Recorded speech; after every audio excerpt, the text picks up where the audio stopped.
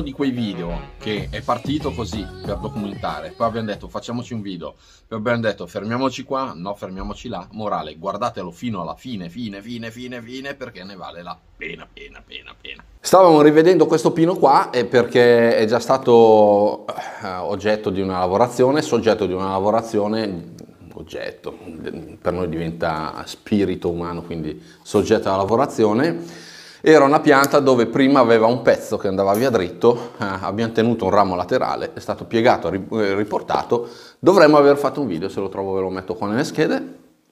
E una pianta raccolta tipo 5 anni fa, dove è stata ricoltivata. Adesso siamo al limite con la ricoltivazione, Dov vedrete che dovremmo andare a eliminare tante parti perché ha avuto più vigore del previsto e si sono ingrossati i rami. Quindi attenzione ecco, a eh, stare dietro alle piante perché la vigoria fino a un certo punto premia, oltre eh, può diventare che bisogna fare un passo indietro, tagliare e ripartire. Vedremo come ce la caviamo con questa pianta qua. Comunque pino silvestre, e vi faccio un close up delle qualità, è una, una, pianta ormai ben stabilizzata, certi lavori fate solo con piante stabilizzate. Andremo prima di tutto a vedere, fare pulizia degli aghi, vedere eh, con cosa possiamo andare a creare le masse vegetative e poi iniziamo a fare i primi step, riportare quant'altro e vedere anche valutare l'invasività di ogni intervento perché vanno fatte sì delle pieghe ma dopo 5 anni che è una pianta che la stai curando devi anche calcolare bene di non andare oltre per non perdere le parti per cui anche valutazione dei rischi e messa in sicurezza poi con Smetto di parlare perché di solito chi parla eh, vuol dire molto di sé, invece chi sta zitto è uno bravo ad ascoltare. Ota sì, qua dietro, vediamo, ecco qua, vedete la rottura che era stata fatta. Qui, questo è un, un intiero. Ok è stato diviso il ramo parte destra vedete morta devitalizzata parte sinistra scavata. Lavoro difficile perché è stata, parte difficile è stata piegata al contrario quindi lasciando l'armatura interno curva. Qua vediamo però il risultato molto buono questa pianta continua a spingere come una, una pazza e tanto da andare a fare dei diametri dire importanti è poco arriviamo quasi alla sconsideratezza, ecco. Vedete, anche qua, qua c'è questo cambio di diametro perché comunque qua era stato bendato per le piegature e poi purtroppo qua era stato piegato e si vede questa piccola controconicità. Anche questo sarebbe un motivo per andare a tagliare e ricostruire con un ramo più sottile per togliere questo. Però una cosa attenzione che molto spesso durante le lavorazioni questo fenomeno accade. Eh? quindi l'importante poi è nascosto, è poco evidente, però quando si vanno a piegare così questi rami succede.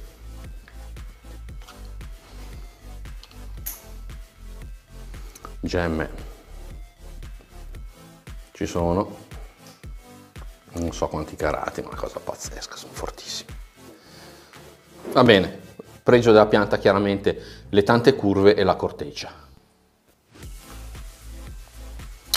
Allora, stavamo vedendo quanto può essere interessante più o meno questo fronte con questo, togliendo questo ramo, forse ecco un po' meno perché nel video pesta un po', però ecco, magari rigirato leggermente così si vede l'andamento di quel ramo, si apprezza tutta la curva.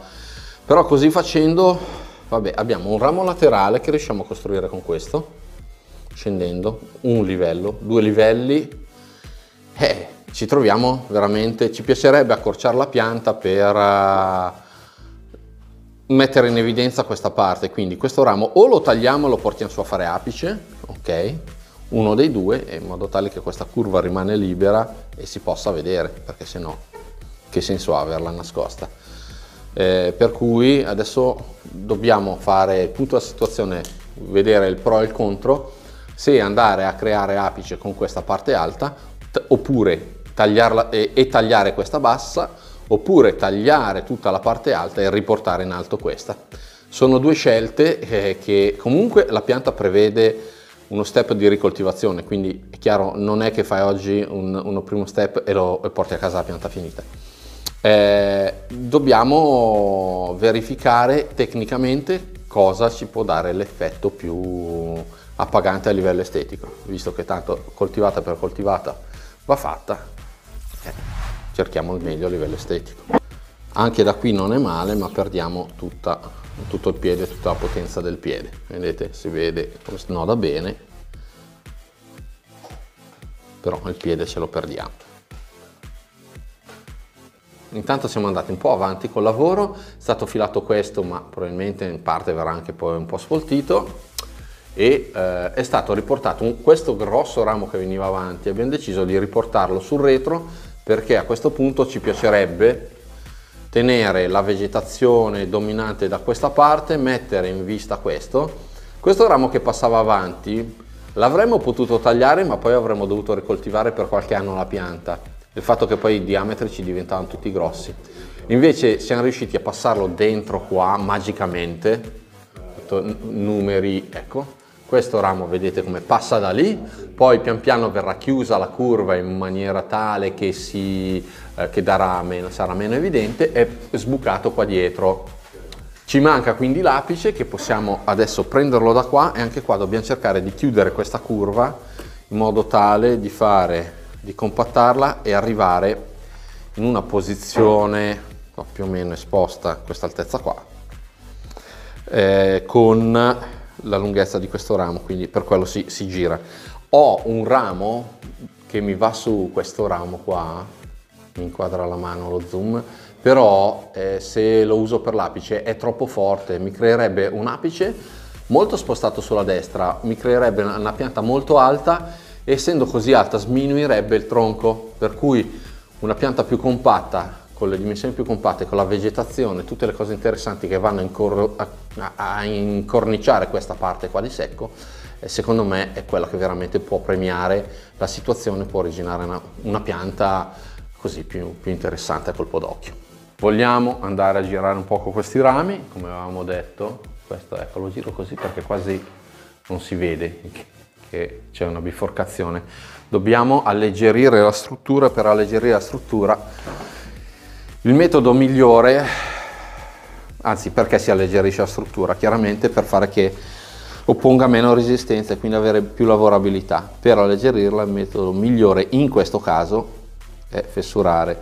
Poi non sempre lo è, a volte si può andare tranquillamente a piegare senza fessurazione, però in questo caso partiamo essendo proprio sul terminale del rame possiamo splittare tranquillamente, non è proprio una fessurazione e vediamo, dargli un invito affinché poi pian piano possa il ramo lasciare da solo, spaccarsi, ecco qua che si allarga pian piano, fessurarsi.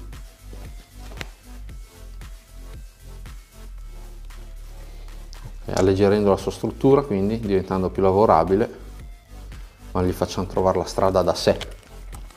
Questo è un punto difficile anche perché era già stato lavorato e piegato quindi di solito in certi punti il legno diventa più duro più resistente. Ok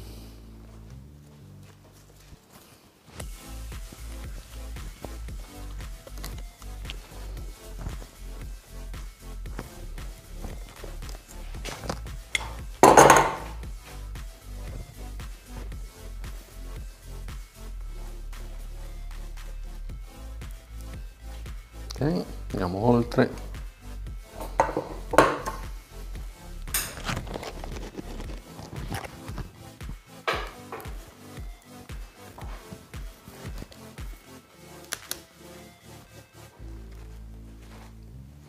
Ecco dentro fa resistenza si vede che c'è un ramo dentro con una ferita legna secca quindi è molto duro